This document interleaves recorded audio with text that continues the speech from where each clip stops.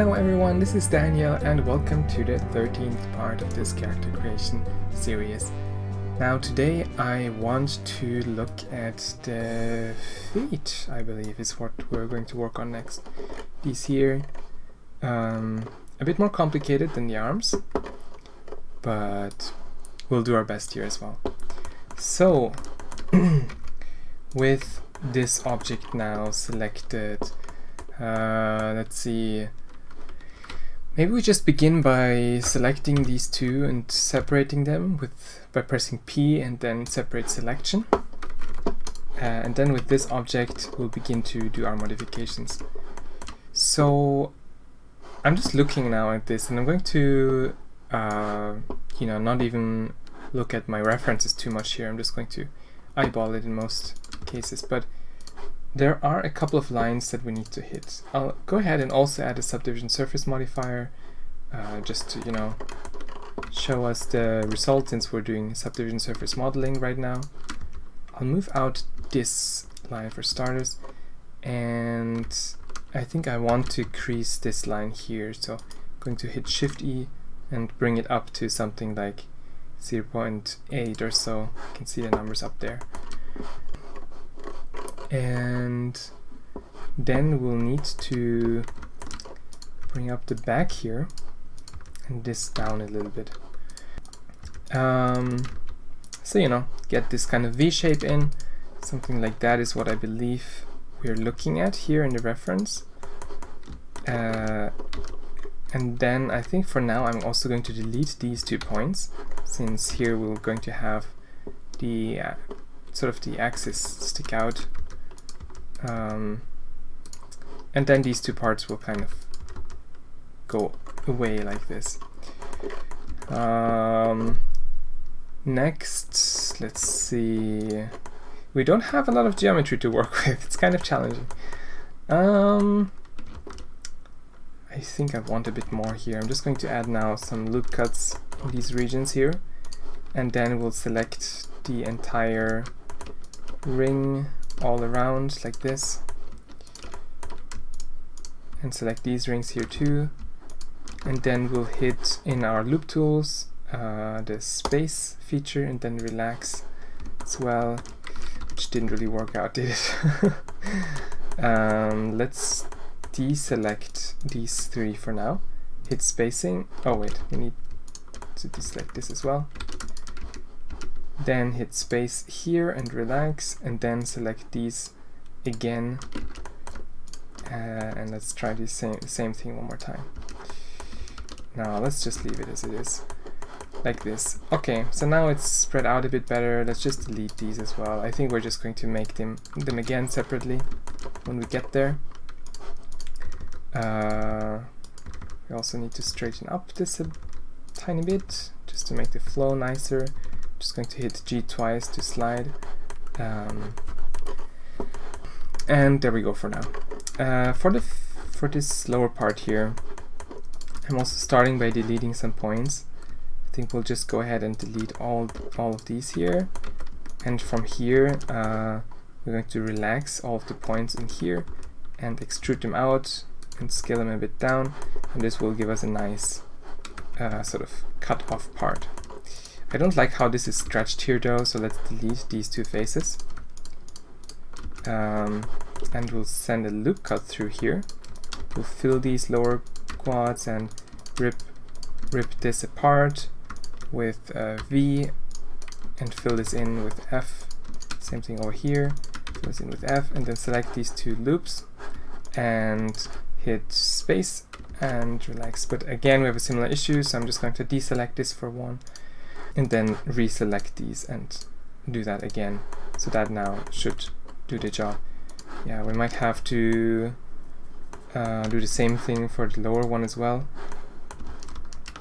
Doesn't seem to really work for this, this one though. So what, let's just try to do it with all of them to see if that helps anything, but um,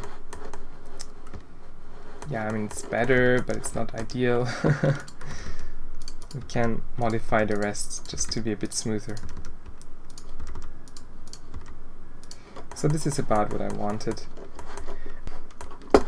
you know what, let's undo that and just to this point, I'll select one of these rings, then go to select, select loops, edge rings, and then relax these just a little bit. I think that's the best we'll be able to do here. Rest we'll do a bit more manually. Um, for example, I think we need to move this one a bit like that to create a nicer curve here. Let's do something similar for this. Let's do the same action again, and that will give us a nicer curvature all around. Uh, let's relax this one as well a few times. Um, what's next? Let me take a look at the reference very quickly. Uh, anyway, let's do something else first. I'll add a, I'll add a circle here and set the vertex count to, uh, let's go with 8 for now. Uh, actually, I wanted this to be part of the leg, so I'm just going to, uh, you know, maybe scale it down, bring it to this side first, and then just join it to the legs so that it's part of it. And then we'll try to find where the, where sort of this, yeah, you might want to turn off this or set it to increment. And then, yeah, your snapping shouldn't mess it up. So there's going to be something like this through through this to the feet. Let's try to find the right position for that though, because it's it's not too obvious right away. Uh, I think it needs to be a bit smaller, smaller di diameter, and then of course we're going to have these two parts go out like that and cover the feet a little bit. Yeah, I'm pretty sure sculpting is going to give us the, the most control over everything here. Uh, I'm not too happy with it at the moment. But these go up anyway. Let's bring them up like this. Uh, that this gives us a nice curve around here and we'll have to do something similar around the back so one more time select all these points around here uh, that seems right then we'll extrude them outwards like this um,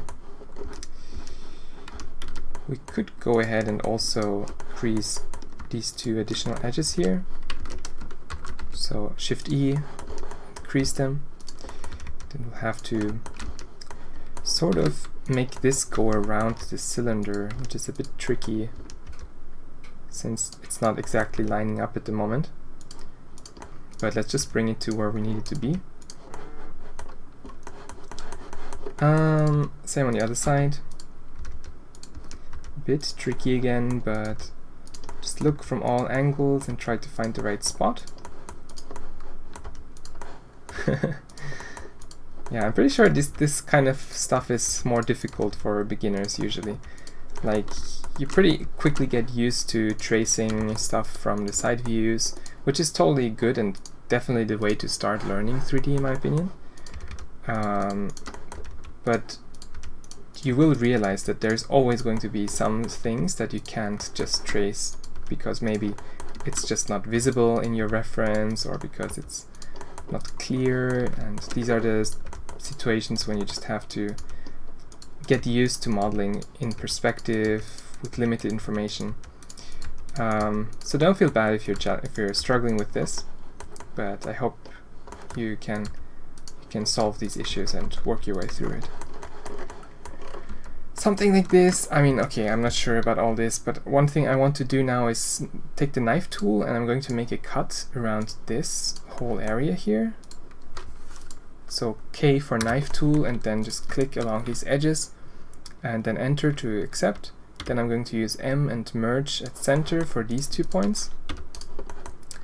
And then I am going to maybe remove the crease for this and for this one as well. Uh, having trouble selecting that. E, Shift D.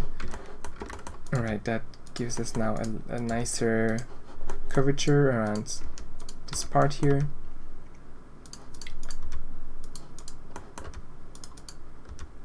Trying to line it up a bit nicer. Hmm, yeah, the remaining things we might have to just fix with sculpting after all. I'm not too confident about doing this with uh, polymodeling, but maybe some of you are going to be better at that. Yeah, we have to apply the same kind of changes to the other side as well though, so let's quickly go on the other side, use K, the knife tool, and add, click once on all these edges, then merge these two points on both sides, and um, here we're going to remove the crease. And with that, should be able to do a nicer curve around, around this part.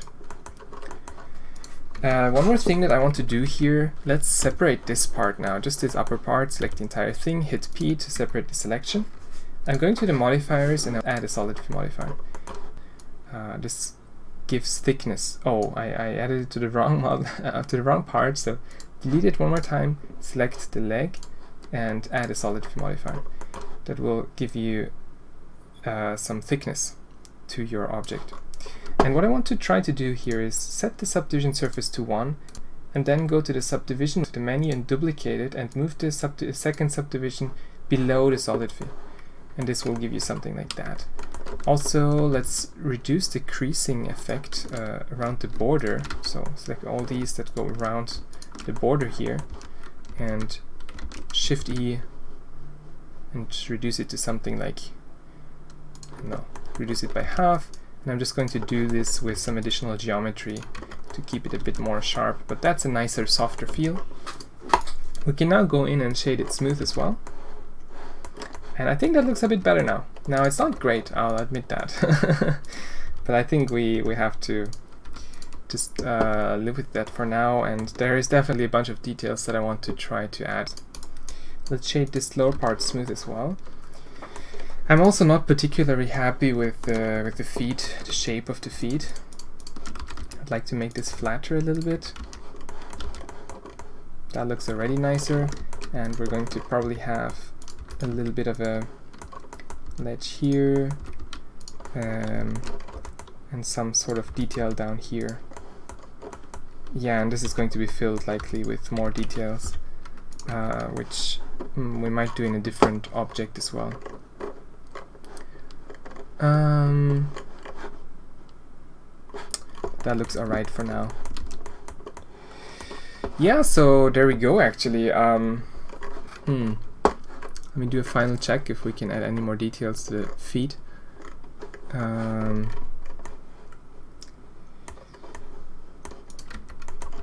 yeah, maybe we should spend some time on this. This line, we didn't really look at it.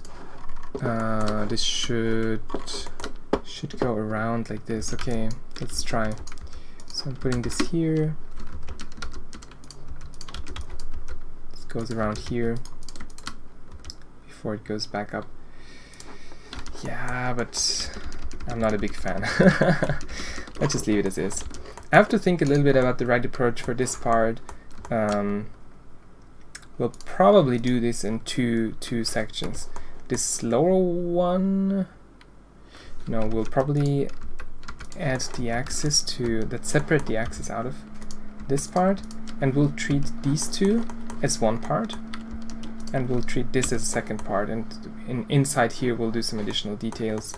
So maybe we just go in and fill this up for now like this so that later on with sculpting we'll have a good starting point. Uh, let's flatten this maybe. I don't know. And then the upper part will be another part to look at in, in sep well in separate it's a separate thing the only thing we can maybe do still before we end this part is to add a little bit of a detail up here. Just like we did with the arms. A little ring, basically. Um, yep, there we go. it's a bit rough, but here we have some additional detail now for the feet. Uh, I hope you enjoyed. I'm assuming that you're probably struggling together with me at this point. But don't worry too much, we're going to figure this out. Maybe we'll skip it for for now and just finish the, the pants and the in the next part. And there's a little bit of more additional work here with these minor details which are going to take quite a bit of time each of them. But uh, we'll do one pass of detailing over the entire body without going to too much uh, fine stuff. And then we'll do a final pass where we just finish up everything also add the colors you know all the all the good and fun stuff will come in the in the in the end in that third phase of our modeling. So that, that that concludes now our video for today. I hope you enjoyed and I will see you next time